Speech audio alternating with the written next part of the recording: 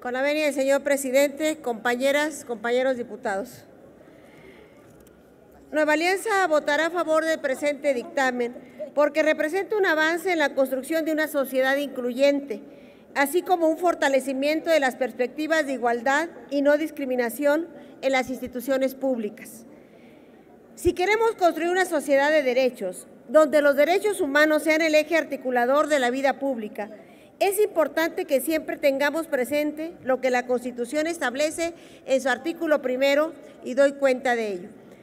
Todas las personas gozarán de los derechos humanos reconocidos en la Constitución y en los tratados internacionales de los que el Estado mexicano sea parte.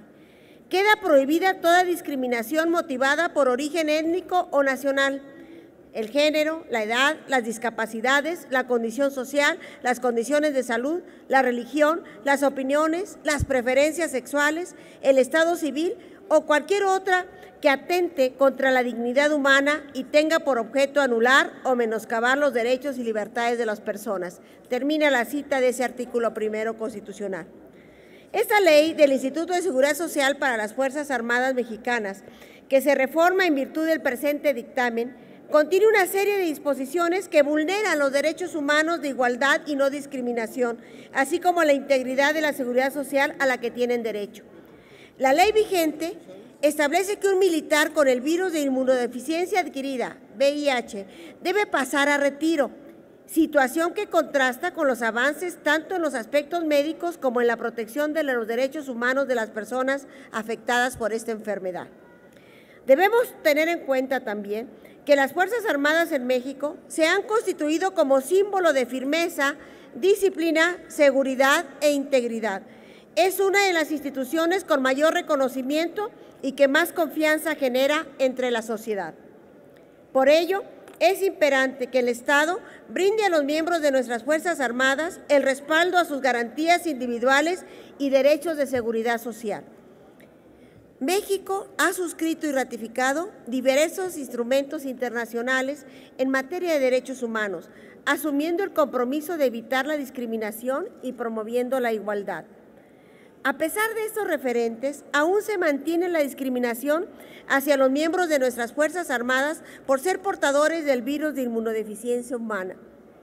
Y en ese sentido, es incongruente que la ley del Instituto de Seguridad Social para las Fuerzas Armadas Mexicanas aún contenga como causa de retiro o baja la seropositividad al virus del VIH.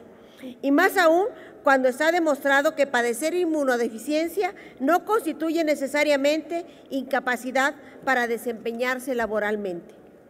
Compañeras y compañeros, la inmunodeficiencia humana no debe ser motivo para la discriminación o exclusión.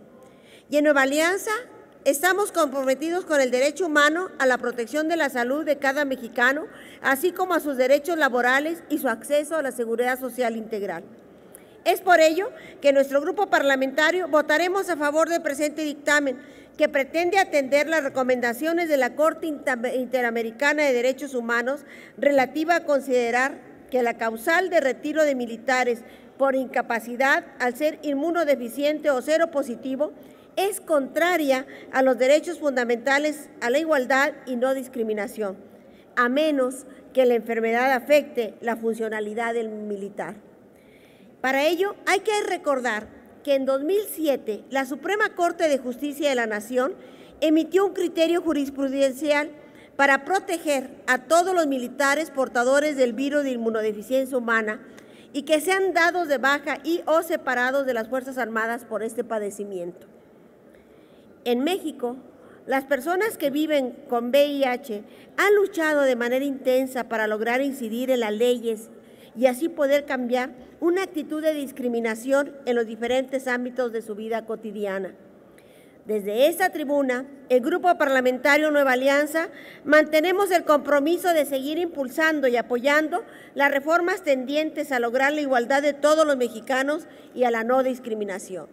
Continuaremos igualmente luchando por los derechos de los miembros de nuestras Fuerzas Armadas, con el mismo compromiso y entrega que ellos muestran para que el país mantenga la paz social que requiere para seguir su desarrollo es congruencia y es justicia para los integrantes de nuestras Fuerzas Armadas. Muchas gracias por su atención y comprensión.